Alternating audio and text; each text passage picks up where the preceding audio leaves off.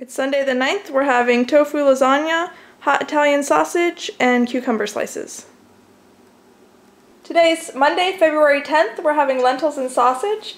It has onions and carrots and hot Italian sausage. It's Tuesday, February 11th. We're having ham and pineapple fried rice. Had some leftover spiral ham from the holidays in the freezer. And this is um, also has peas and uh, red bell pepper and onion and garlic and ginger.